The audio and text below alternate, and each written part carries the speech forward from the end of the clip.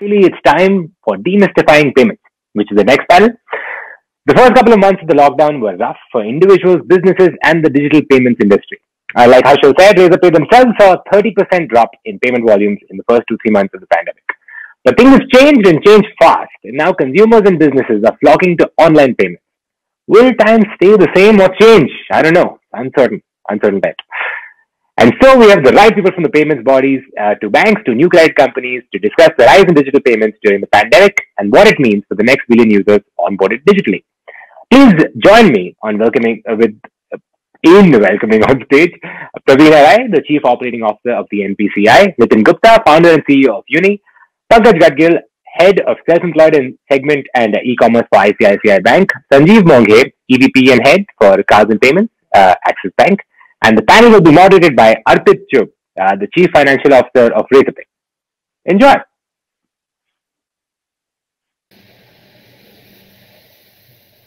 Hey, Arpit, we'll get the rest of the panelists on quickly, and you guys can kick off. Thanks, Kanan. Hi. I think, um, hi everyone. Uh, um, I think uh, I think we are uh, um, waiting for Pankaj. Uh, uh, you know, he's facing some technical challenges, but we'll, we'll get started, and I'm sure Pankaj will join us in a in a couple of minutes. really, you know, delighted to be moderating this you know panel. Right, we've got you know leadership from top banks, NPCI. Uh, entrepreneur who's founded payments and lending companies. So I'm I'm looking forward to this uh, this this discussion, and I'm gonna you know jump right in. Uh, you know the hope uh, today is to you know the you know the digital payments ecosystem is rapidly evolving, and you know from experts like you, you know I, I, I we want to hear what it could look like in the coming years, right? That's what we are hoping to kind of uh, get to the bottom of. If I can if I can try and do that. Uh, uh, so so let me let me jump right into it. Uh, and Sanjeev, I wanna you know start off with you about a question on on on on digital payments and currency. Uh, you know, we've seen massive gains in digital payments over the last, uh, you know, few years, right? Just just last month, I think, uh, you know, NPCI reported on UPI in aggregate peer-to-peer and peer-to-merchant, there was 50 billion dollars worth of uh, transactions, right? However, in the same period, you know, currency in circulation also keeps going up, right? We keep seeing gains on currency, uh, you know, every every five six months when RBI releases those numbers. I know Harshal in the morning talked about how cash on delivery dropped in April, May, but went back up again. Uh, you know, what is it that, you know, needs to happen, you know, structurally in terms of either awareness or accessibility that if I can use the word, help us win this war against cash? Yeah, hi, uh, good afternoon, everyone. I hope uh, I'm visible and audible. Yeah. Yeah, with that, I'll move ahead. Uh, see, okay, uh, just I'll get to the answer, but I think the first thing we should get right is there is no war against cash. Cash is not bad. I think, and obviously it's coming from a bank, but uh, we should just get the first thing right. Cash drives the economy. Cash is a form of money, right? You can have credit card in the form of money. It can be credit card. It can be UPI. It can be uh, well the money in your bank which you can transfer through IMPS. You can well transfer it in the form of physical currency, which is cash. Uh, cash by itself is not bad. There are fairly large economies which run pretty well on cash. Uh, Germany and Japan are two names at least which come to my mind right now. So it's not bad per se. If some of the other things that we know come with cash, cash means largely it's black. It's not uh, the formal cash, the white cash, etc. One, two. If your cash, uh, if your tax to GDP ratios are low, those are issues that we should actually be talking about. So largely not necessarily in the purview of payments but I just want all of us to understand that cash by itself is not uh, bad. Second, obviously, cash is growing. Now, I've seen the data, obviously, last two, three years, cash has been growing. Uh, in fact, if you were to look at cash as one data point and second digital payments, it has actually grown faster than digital payments. Having said that, if you were to, because digital payments, as when we look at it today, comprises obviously the largest stuff out there is RTGS. So keep it up. Let's talk about retail payments within retail payments, obviously there are some forms which are going up and kind of up and down, etc. This year, for example, plastic payments may not necessarily grow at the 20, 25, 30 percentage pace it used to. Debit card used to grow 18, 20, credit card used to grow 30 or thereabouts. UPI on the other end is going through a very different pace of growth. IMPS continues to grow, of course. UPI, one way to look at it is at the back end, it's IMPS, but I'm just keeping UPI and IMPS separate. So these forms are growing uh, for sure. Now, if your question is what should be done to drive further growth on this, I think one part in India is the pyramid still needs to be expanded. Let's understand the product which is most widely pervasive out of all the retail payments which are digital. It would be one debit card and two UPI. Debit card would be approximately 55 to 60 crore penetration in India today. What is the usage in let's say the bottom 20 30 crore is still very very limited. Second part, if you were to look at UPI, while Praveena will have the data, my sense it's close to 20 crore individuals. There are more UPI handles out there, in terms of individuals, my sense is it must be around 20 crore, which means there is still a large part which is out there which is not using digital. Now, is it because they don't want to? Is it because they're not conversant? It is because they don't have the medium to be able to use this. I think these are questions that we have to get down to answering. Uh, it will never get answered in a two-minute uh, reply to a question. Uh, but first thing, there is no war against cash. Two, digital payments make it easier. Uh, we also have to uh, solve the security challenge. In case people believe cash somehow seems to be more secure than uh, digital, if he faces fraud issues, I think there, there are these pieces to be solved. And good part, at least of security, is between the representatives in the field plus the regulator RBI. We have been very, very proactive. India today has higher security standards in quite a few advanced countries, uh, and that is pretty good. But a lot of steps required, which I'm saying go into the security, how convenient is it, and then where does he use it? All of these have to be solved for uh, to grow digital payments at a ratio faster than cash. That's the back to you. No, no, Sanjeev, great thoughts, right? Absolutely, that uh, the intent of uh, you know driving digital payments faster than cash. And uh, Praveena, I want to kind of hear your thoughts on that, right? That obviously UPI has in the last you know few years uh, and you know in particular in the last uh, six to nine months uh, just shown the, the, the potential of growing month after month and some of this you know sustaining significantly post uh, you know post covid as well if i can use the term. Uh, your thoughts on what's next out there which will which could accelerate you know this curve even faster? Thank you Arpit and great points by by Sanjeev. You know, I, I completely am, am sync with uh, the points that he made. Um, and uh, given the period of the pandemic, you know, which is not a short period of time, I truly believe that users who got onboarded onto digital payments in this period uh, are going to continue to stay users. Of course, you know, a few of them will fall back, but largely, I think we have crossed a point where it is just a, just a few days, just a few weeks. It's actually a few months. Uh, we'll be hitting close to a year very soon. Uh, plus, we have users who used to use, uh, you know, mediums like UPI on a on a limited basis, and now they are using it intensely. Right, many more use cases, more online, uh, shop for the grocer, get the delivery, you know, pay uh, using UPI, uh, so on and so forth. So this, of course, uh, the trend will continue, but there is more work to be done in terms of enabling the awareness around how people get more comfortable with with using this for all their requirements. So today, as, as Sanjeev said, you know, somebody's still taking some cash in the wallet. You need to carry your wallet. I mean, have we reached a point where you just walk out with your phone? I think that's the point. That's the golden moment, right? So it needs to have ubiquity. So we need more penetration, more merchants, more QR codes, more online solutions. Uh, we need people to be more comfortable, you know, how to use UPI safely um, or any any digital payment, right? What are the safety parameters as we get these a large new tranche of users who coming digital into payments after the initial euphoria they do have to know how to use upi safely how to use a card safely. What's an otp what's a pin? You know what do you uh, not share and, and why it's important to not share? So those elements uh, the awareness elements of safety are uh, are important as we move forward. Uh, and uh, we need to look at uh, the awareness of the beauty of many of these payment systems is the what we call the interoperability, which means you pick any app, you pick any bank app, you know any uh, any non-bank app, and you're able to make a payment to anybody uh, who could have an account anywhere in the system. So I think some of that awareness is uh, that journey is still in pro- in, in progress. Uh, people might still be thinking that I need to have the same kind of app to be able to make a payment. So I think we still have work to do on the awareness side. There's work to do on the uh, reach and penetration and there are many more bastions of cash uh, you know to be addressed so what's the problem statement why is cash still used here uh, and not to say cash is bad right but taking it away creates efficiency you know, creates uh, convenience creates uh, in the long run inclusion because it implies uh, transactions being available for you know either credit or you know any other kind of uh, formal mechanisms of bringing more people into the into the financial system.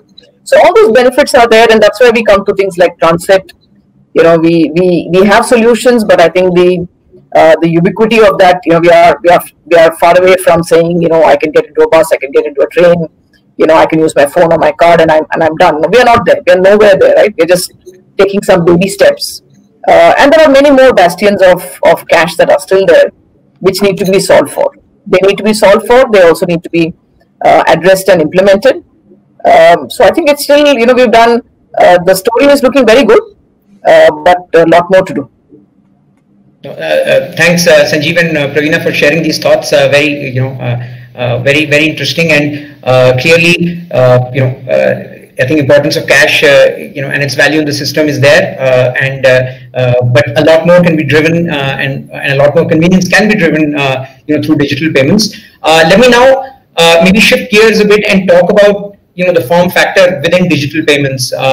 Uh, I think Pankaj has also, uh, you know, joined us. So, uh, Pankaj, you know, welcome, welcome to the panel. hi, Arpit. Hi. am I audible, Arpit? Hi, yeah, yeah, Pankaj, we can hear you. Te te technical glitch. I'm extremely sorry. No, no worries. welcome. Welcome. So, hi, hi, Nitin. Hi, Sanjeev. So, so I'm, um, so you know, so moving from moving from that, I want to talk about form factor within, uh, you know, within within digital payments, right? And you know, I think world over, particularly in the developed markets, right? You know, cards were the dominant, uh, uh, you know, digital payment uh, instrument. And you know, I wanted to talk about you know with with the success that UPI has seen, right? You know, convenience of you know these real-time payment systems and so many buy now pay, pay later options, right? You're kind of getting both the convenience of real time, the convenience of credit, if I can say. will you know will cards as a you know form factor not see the success that it has seen in other parts of the world. Nitin, I, I, you know, I know you have big plans for cards, so let me direct this question to you. Thanks, thanks, Arpit. Um, great question. So, so first of all, let me differentiate between credit cards and debit cards, uh, and let me start with some statistics. So, in credit cards, I remember way back in 2015, uh, about 35%, one third of spends used to be online, and two thirds of spends used to be on credit cards offline. Uh, and if I pull out data for earlier this year, Jan Feb, right, I think that number is now close to 50 50. 50% of the spends are online and 50% of the spends are offline. That's one data. Let me share with you another data. If you look at average spends of a buy now pay later, or let's say let's say you were to issue a credit card just virtually and you were not issuing a credit card physically at all, right? Uh, and I did that at uh, uh, at my previous org. Uh, the difference in activation rates is 10x different. If you issue a, a user a physical card, the activations are 10x higher than just issuing a digital card. And when it comes to spends on those cards, if you've issued a user a physical card, the spends are 4x higher uh, for the, than just issuing a digital card. So as of today, uh, the card form factor is not going up. That's the first. That's the first point that I strongly believe in. And uh, and while its usage is on decline, the physical card is becoming less important. And with uh, with factors like uh, you know you can just um, put your card on your phone, right, and make it NFC enabled, tokenize it, right? The card form factor is becoming less and less important, so that if you're physically present, you can just tap your phone, and it will be on a continuous decline. What's fundamentally more important than the card factor is the credit line issued. Right? In my mind, payments are of two types: either they're coming from a bank account or they're coming from a credit line. I think I think in the last five years, while overall digital payments have exploded, uh, and particularly P2M payments, person to merchant payments have exploded and grown more than 4 5x. The share of credit led payments, where those payments were done by a credit instrument, has declined by more than half. And this is very counterintuitive, right? If you are getting free credit to pay for payments, why should it decline? It declined because the number of credit card issued or credit lines issued or buy now pay letters issued, all of these, right, are, are not adequate enough. So, so there's a huge opportunity in the market to issue more credit lines at the same time, the physical card form factor uh, is here, will decline, but it will be a gradual decline. Uh, and I think you will be relevant not just five years from now, but even 10 years from now, uh, in my opinion. No, that's that's the great, great, great perspective, and I think you know these stats on the physical card and uh, you know the activation and spends is is, is, is a terrific insight. And thanks thanks for sharing that. Uh, Praveena, why don't I um, you know kind of uh, you know kind of link this with with what's happening on UPI? And do you think if uh, Nitin talked about, you know, not adequate credit lines. If you know a greater linkage between UPI and credit, you think could further into that, right? I mean, are there what are the plans uh, as far as credit on UPI is concerned and progress there, which could which could make a significant dent to that? Yeah, I can see Pankaj grinning there. We've been talking about all these nice ideas. but uh, so that's, I mean, obviously very exciting. But let me let me just look at what options we have today, right? So on one hand, you have the credit card, which is credit on cards. On the other side, you have a pay later kind of product. Whether it's on UPI or some other rails, you know, let's keep it at a slightly generic level for now. So if you got pay later, you know, ideally it is opening up an entire new segment that did not exist earlier because the, the card is a slightly higher uh, cost of acquisition. Nitin spoke about it. You get a higher, uh, you know, activation when you have a physical card, which means you need an acquisition, you need a, uh, you need an issuance of a physical card of a certain quality. It needs to last and sit in your wallet and be used for five years, three years, etc. Right? So it, it, it, it needs a certain quality and hence it has a certain cost and typically it's associated with slightly higher credit lines right? It can be a corporate card or a commercial card you know it can have even like few lakhs a crore etc um, or retail. You know retail uh, given the the cost of the card the cost of managing the entire infrastructure you know typically an issuer will look at at least a, a, a lakh or plus or 50000 or something like that right? Slightly on the on the higher side. What the digital credit a pay later kind of a concept gives you is the ability to go micro you know you can give 10000 bucks 5000 bucks 2000 bucks 1000 bucks right? So you can give you can give credit now instantly at the point of requirement. You don't have to like block off a big line against a certain customer or, or, or a portfolio. And uh, you can also then service the kind of customers who probably earlier were not considered to be credit worthy when it came to larger lines having to be associated with them. So suddenly it just opens up you know two axes. It opens up a wide range of customers who were uh, not in the fray. So opens the you increases the addressable market, and uh, it opens up the uh, the convenience and how the customer wants to use it. So it is on need, on demand. Uh, you know, again going back to this great world of instant, which is the way digital is being defined, right? Uh, so to me, I mean, these tick some great boxes. I think it's a game changer, but I don't believe it's one or the other. The the, the physical uh, form factor of the card will have a space. The card will go sit on the phone and that will have a space. The pure digital will have a space. Uh, and you know, in a billion dot three customers that we you know are addressing, trying to address in, in the country, all three of them you know will coexist. And we are long way away from saying it is this or that. So I, will come in here, Arpit. Uh, I, I hope I'm audible. I'm checking again. Yes. Yeah, I can hear you. Yeah, so to add to what Praveena and Nitin was saying, I think uh, all of us know these numbers, the 80 crore, you know, debit card number or the 5 crore credit card number, 5.5 crore credit card number.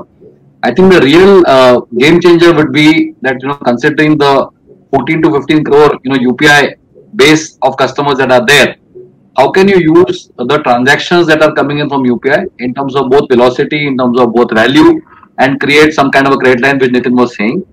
The other thing which is very important is that, you know, while you build this, another uh, you know thing as a banker when i look at you know uh, when you look at credit you know specifically the good thing here is that although the line is very small it is very purpose based so to that extent it's for a specific purpose that you know you uh, you know give the line. So the usage is you know kind of fixed.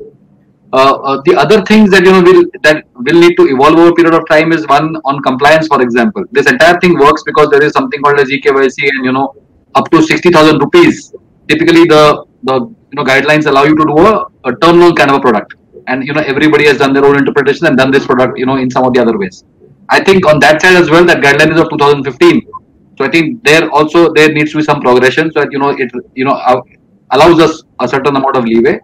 And the last thing which is there is uh, Arpit uh, that if you see BNPL and if you see the worldwide market and if you see you know where it has picked up picked up and essentially China where it has picked up where essentially it's a closed closed loop kind of a system the cost of uh, not paying in that entire ecosystem is extremely, extremely high because then you are actually a loner. If you're not part of Tencent, if you're not part of Alibaba or Ant, then you are out of the entire system. Well, that will not be the case here. So the cost of collection for a micro line is not what you know we've been able to crack as bankers, you know, till now. Uh, it is it is beastly expensive. So you know how do they, how do you make that happen? And you know how can you make sure that the entire ecosystem uh, uh, is so compulsive that somebody doesn't want to leave that uh, you know ecosystem is a very critical point for this product to you know succeed in times to come. I thought I'll just add my two bits uh, to the conversation. No, no, absolutely, Pankaj. Thanks, thanks for doing that. Really, uh, really, really interesting thoughts, and uh, I think uh, I think the message is. Uh, I, I know Nitin wants to say something. Uh, uh, Nitin, go I ahead. think to add a line here, right? I think one of the use cases, which is a really low-hanging fruit, which has not been tackled yet, is why is it that my that using my credit card, I can't scan a QR uh, and pay from my credit line. Uh, I think I think the existing banks today have been waiting for the interchange from NPCI to get solved there, uh, and it's my genuine appeal that to treat P2M UPI's scan payments just like bill payments, forget the interchange, and just make lives easier of the customer and allow the credit line to be used to scan a QR code. That's my appeal to both Pankaj and Sanjeev. I'm listening. No, Nitin, Nitin, thanks. You know, thanks, thanks for that. Uh, Sanjeev, any thoughts? Yeah, Arpit, I'll come in. Uh, first, I would have actually loved to debate somebody saying cards will go away. Nobody said that actually. I think I would have loved to debate that view, but I didn't get that view. okay, my personal view, and I've had it uh, because a lot of people keep asking, will cards go away? I, before cards go away, if at all, I don't see it going away, frankly. That's one. But let's say in a 20 year horizon or whatever, before that happens, I do see the machine going away, the EDC machine. Uh, that's my take on it because uh, what we need to crack is essentially can it be done on a mobile or a non-NFC any every transaction? Can it be secure? I think that's one thing you need to crack. Once you crack it, uh, and you are able to crack it for solutions which are either uh, powered by 2G, 4G network, etc., or normal. I think if that happens faster, then that will pave the way towards cards going away. Personally, my view is cards is not only a usage device; it's also your brand in the customer's wallet. People don't talk about okay people talk about home loan being from axis bank ICICI. people don't talk about they talk about which card. It's an axis bank vistara card. It's an axis bank flipkart card that i have. So that brand is also that card size is also your brand in the customer's wallet. There are various reasons it has not gone away in us any country. I do see that staying uh, in india as well Third point, I think we should realize credit cards is actually the cheapest, not the costliest as people believe. It's the cheapest form of credit because if you're a transactor, you actually literally pay nothing at all. That is not true for a BNPL. That is not true for any other form of buy now, pay later product because when you do the transaction, you pay something. Uh, we have to understand that point. And for various reasons, therefore, I see credit cards continuing. Uh, yeah, the country is large, the country is complex, and the country is underpenetrated. So, lot of countries. Thank, thank you for sharing those thoughts. I think, I think uh, clearly, um, I think uh, uh, consistent view that there are some inherent advantages of uh, you know in, uh, advantages of cards, which uh, will ensure that you know that form factor never goes away, and you know, that's that's great to hear because all kinds of flexible products are needed for such a large country and large ecosystem, right?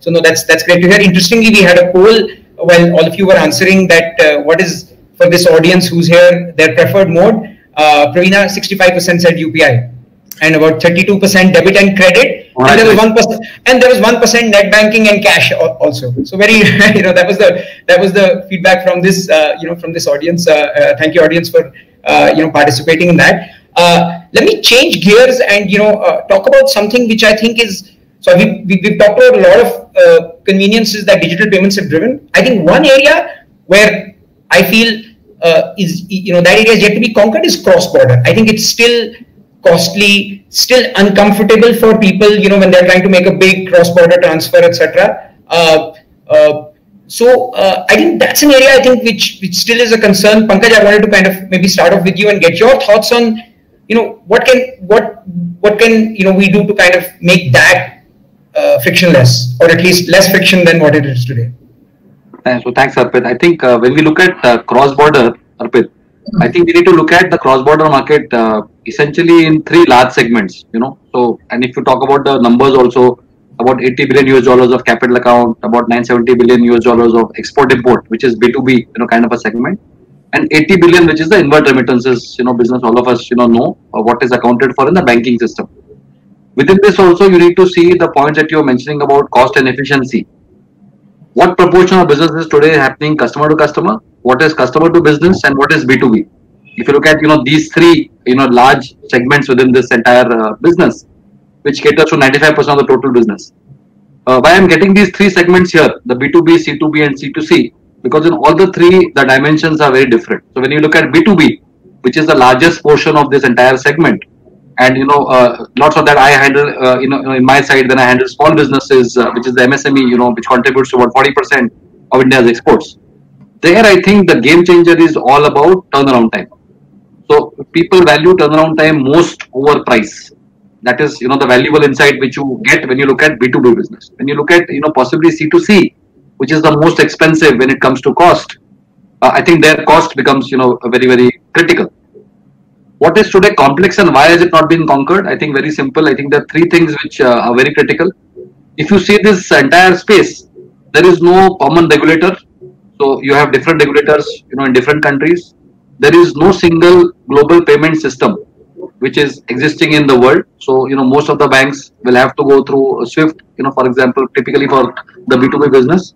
And third is there are no global standards that are uniform in every country. So these three are all divergent, which is not the case in domestic.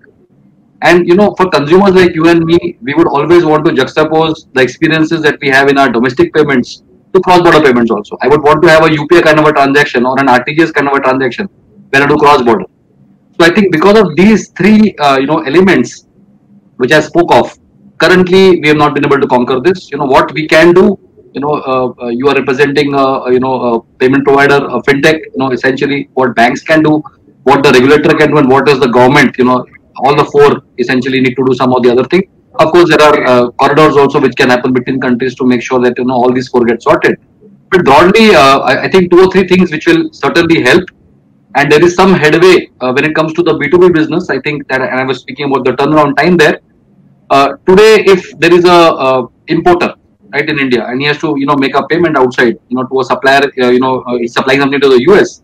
If he's making a payment on Monday, then most likely the the payment is getting settled to that you know customer in the US on Tuesday, right? Minimum that is Tuesday or Wednesday is the time when the you know money is coming because there are correspondent banks also involved, and everybody it's actually like you know everybody is benefiting in the transaction so therefore also the transaction becomes very costly so if there is something like let's say a visa b2b for example something which visa has done or for example something which icici bank has done where you know we've, we've kind of introduced something called as trade online which ensures that 100% of the transactions today on cross border can actually be done online completely with no branch interaction so something in that direction when a global network player you know comes into place and make sure that the transactions become instant is I think going to be a game changer there. That is, you know, uh, one dimension of the entire uh, uh, space there. The, the other part is that, you know, how can you make sure that all the different players in this space, so you have a logistics player, you have a freight forwarder, you have a customs, you have a regulator, you have a bank. So these are the minimum, you know, five people who are there in this business. And sixth, of course, is the place of discovery. So what we saw in Alibaba, where, you know, people are trying to discover the exporter and importer also discover businesses on that platform. So all the six, if they can come on a DLT or a blockchain, then it is going to make sure that the entire transaction is going to be super, super efficient and super seamless. And you have some examples of, you know, in Singapore, for example, uh, there is a fintech which is called Camel One, which has been able to achieve this, uh, you know, in Singapore. Got it. Got it. So I think if that gets made here in India, a blockchain kind of a piece, you know, comes in India. We've made some, you know, taken some steps on the, in that direction. But for that, everybody has to come together, and that is, you know, itself a time-taking exercise, like so, saw earlier. So, so Pankaj, what I'm hearing is not not an easy one to solve for. lots of lots of participants need to come together. Uh, uh, you know, what is what is NPCI, uh, you know, thinking about that, right? I know I know uh, there was some talk of some kind of corridors being created, maybe not not not particularly all countries, but maybe some particular corridors. I know NPCI is also thinking about you know taking UPI and you know RuPay global uh, you know, with some some plans around that. Uh, do you think if any of that materializes with for some corridors, you know, it could become like a UPI kind of experience, cross border at some stage? Uh, you know, maybe not now, but in the coming years. So, Arpit, I think uh, clearly that's the gold standard uh, to be achieved for international payments, right? So, from where perhaps most of the transactions are today in what we call TTs, you know, that, that take, uh, you know, tens of dollars in terms of cost. It takes you know a couple of days in terms of time. Um, with too, with little information that is available, you know, did my transaction reach, not reach, etc. So there's an information deficit there. So faster, better, cheaper is is certainly the direction to go. And today, you know, we do have something called the foreign inward remittance uh, uh product on UPI. So, you know, UPI can connect seamlessly with the rails, uh, inward rails.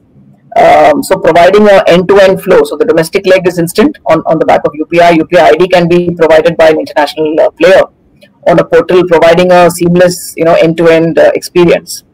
Uh, and slowly we, we, we have, uh, uh, you know, banks that are uh, going live. In fact, the domestic system is live. Some of the international linkages are, are yet to be made, but this is currently already something in play.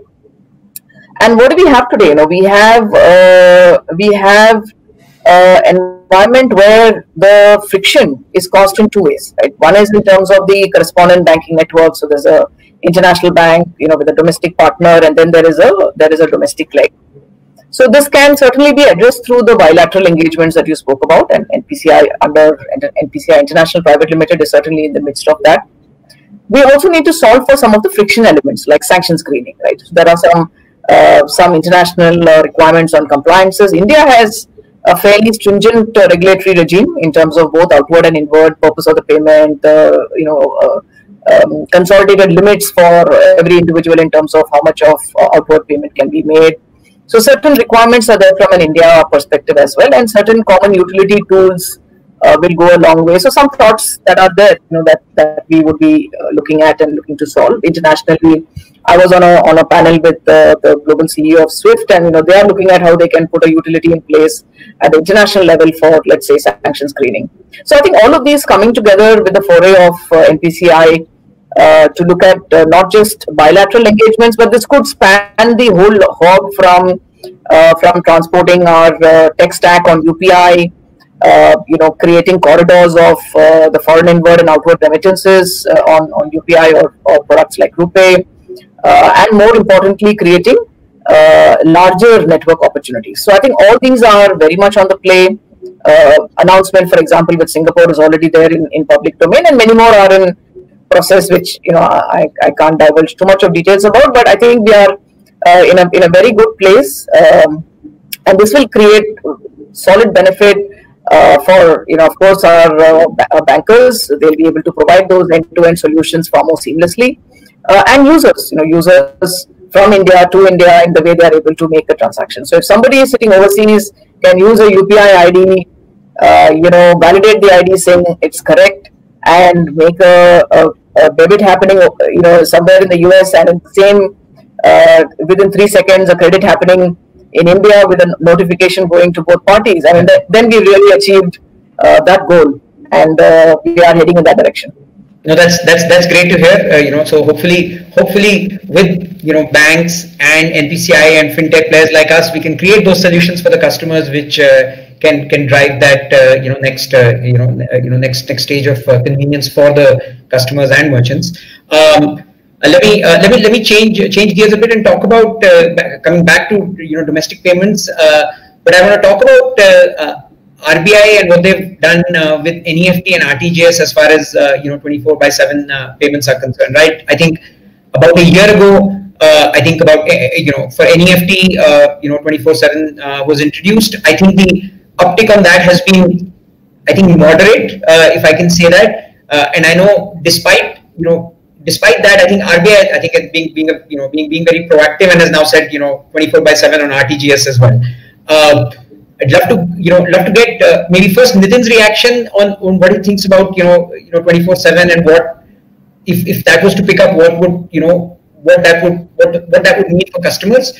And then I want to hear from the banks, right? Pankaj and Sanjeev why do you think uh, why do you think the banks have been a little slow in if i can use the word uh, you know uh, reacting to that um, so maybe first i hear from you and then kind of uh, you know uh, you know throw it throw it to Sanjeev.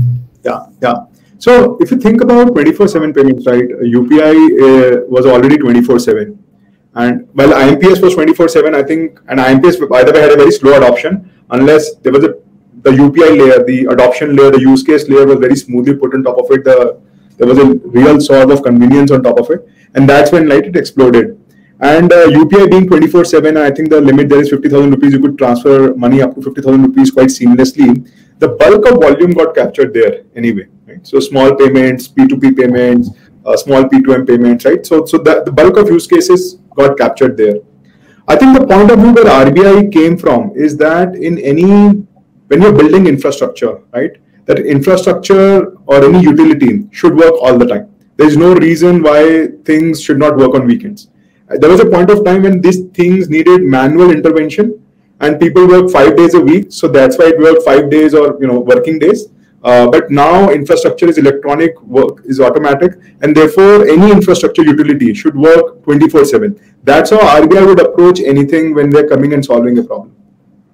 From an adoption point of view, the use case that was solving was for uh, transfers which was more than 50,000 rupees, right? Uh, and these transfers were few, and that's why I think the moderate, the success has been moderate that way. But what you see is that whenever infrastructure gets built, eventually use cases get built which make that more seamless. Those use cases I'm less aware of today, and I'm hoping that uh, Pankaj and Sanjeev might have more insights. Uh, but those use cases, when they will arrive, right, that's when this 24/7 will see significant success. In absence of the use cases, it will see moderate success because UPI was already solving for it. But from an RBI's perspective, they have to build infra, and infra means 24/7 utility, right, working all the time. That that's my that's my view. Uh, thanks, Nitin. To me, Arpit, I think uh, what you know Nitin kind of added. So when when there's a full debate, which uh, which always happens between accelerating digital payments, three things which you know differentiate a cash versus a digital is speed, the cost, and also access. There are you know, many more play, things like universal universality or you know fungibility, you know so on and so forth. I think these three things: speed, cost, and access, very very critical. And I think uh, in speed and both cost, I think both the uh, modes, NEFT and RTGS, of course, they click the button as far as speed and cost is you know concerned. Uh, to the question as to you know why is it not scaled up, I I, so I agree with uh, Nitin. See, we we are here to provide the railroad essentially, and we are also looking at use cases of you know what people can come up with on the larger payments, which is the B2B. Like for example, Razorpay came to us, came to ICICI Bank and said, look, solve, you know, solve this problem because we are doing settlements throughout the day and we need an NEFT to, you know, make that happen. So we have kind of made it happen for you. We are in the process of, you know, making it uh, happen for you. Uh, to me, uh, certain things will get questioned today. For example, just imagine today mutual fund, you know, mutual fund redemption. So there is a cutoff time which is actually there. Now, once this railroad gets built, tomorrow, you know, somebody might say that at 7 p.m. in the night, I want to, you know, redeem and I want to get a settlement today. Today, that would that could not happen. So all those things will start getting questioned with the railroad getting built of RTGS and NEFT. And uh, let, let us not say that it was NEFT first and RTGS second, because to me, somewhere these are backup systems of the regulator. So if NEFT was there, RTGS had to come. You know, in times to it had to come, so it came. And uh, we are, you know, looking forward to, like Nitin said, more and more use cases coming, you know, to us to, you know, make that work. Uh, frankly speaking, there's no restriction, you know, in terms of, you know, our prioritization that, you know, we have to push towards an IMPS payment when somebody is asking for NEFT and RTGS payment. That's not what you know we are looking at. There is obviously uh, at the end I would want to say that you know there's a treasury leg to it also. Sure. You also know after a certain point of time the corporate is not sitting and you know doing fund transfers for you beyond a point. That's not how this is happening today. But yeah, if there is just the way you know uh, any new innovation uh, has to get accelerated possibly by an event or by by something which changes in the ecosystem. Possibly the shake-up is required here, you know, uh, you know, for all of us to also see what the 24 by 7 RTGS and NEFT will mean for us in times to come. No, thanks. Thanks for your thoughts. I think I've, uh, you know, uh, this has been a very engaging discussion, and uh, I think we used up a lot of time. So I want to move to this uh, one last question from me, and hopefully we might have some time for a question from the audience. But I want to ask this last question to all of you. Sanjeev, I'll start with you. Um, uh, you know, short answer. You know, what's what's one big innovation in you know payments that you're working on or wishing for, right? That you think could could could drive the ecosystem in the coming year. So, you start with you, uh, uh, Praveena, Nitin, and Pankaj. After that, right? Short answers, please. Okay, uh, if you would ask me, uh, I would be more most excited about two things. One is a voice-based payments mechanism. Uh, that's what most of India would be very comfortable with. So not QR. Obviously, whatever exists can exist, but voice-based payment for the customer. Second is if actually you can do all your transactions at the merchant without an EDC in between. Uh, these are two innovations I would like to see, we like to work on. I think uh, my pick would be these two. Thanks, thanks, Sanjeev. Praveena? Yeah, just as I was formulating my ranking, I think Sanjeev uh, stole my point. Uh, so I, I, I vote for voice-based payments. Uh, you know, sometimes we call it feature feature phone payments, but I, I like to call it voice-based payments. Uh, feature phone doesn't do justice to what it can do in today's world of uh, voice bots and uh, AI and voice recognition. I think uh, uh, we we should be quite close. You know, next year we should look at uh, voice-based payments for ourselves in the ecosystem. Is it me? Uh, Yeah.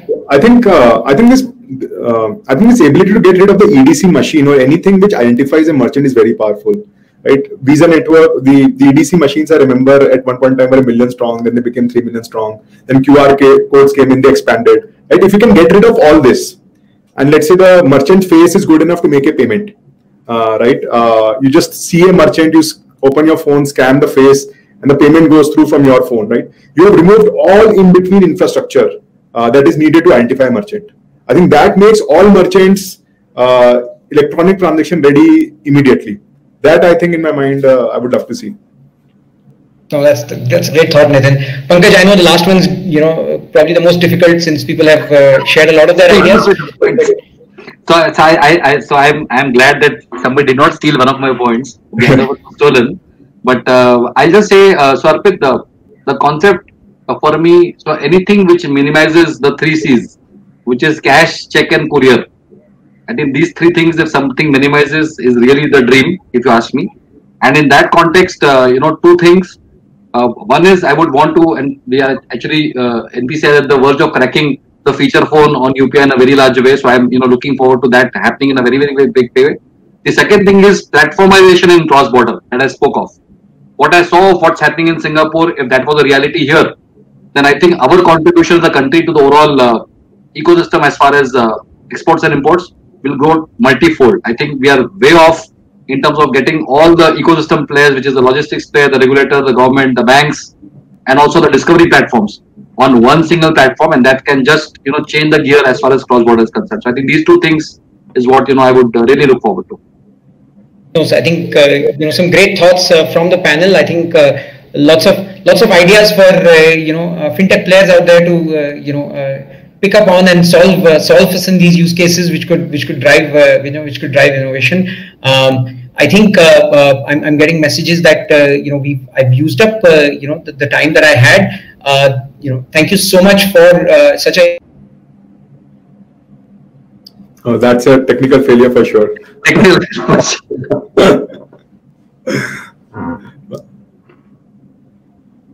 We'll wait for Arpit to come back. yes. Well, Arpit. So, sorry, we just you know uh, a technical glitch. So just just uh, sorry, as I was thanking you, thank you so much for an insightful uh, uh, you know discussion and frank discussion. Uh, my uh, my uh, you know want to uh, thank you all on behalf of Razorpay. Um, you know. Uh, Please, uh, please stay around. There's some interesting, uh, you know, panel uh, panels uh, planned for the rest of the day. And uh, uh, thanks again for taking the time. Thank you so much, Arpit. Thank you, Thanks, Ravina, Sanjeev, Nitin. Thank, Thank you so you. much. Bye-bye. Thank you. Thanks, everyone. Pleasure. Bye. Bye.